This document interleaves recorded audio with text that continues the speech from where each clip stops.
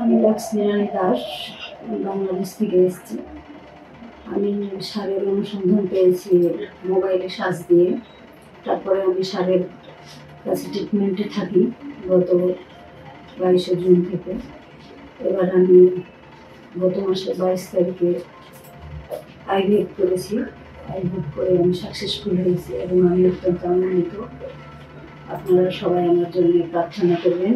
আমি যেন আমার নিজস্ব লাইফে যেন আমি কৃতজ্ঞতা প্রকাশ করে সাকসেসফুল হয়ে যেন আমি দুনিয়ার বুকে আমার বেরিয়ে নিয়ে আমি খুশি নিয়ে এখান থেকে যেতে পারি।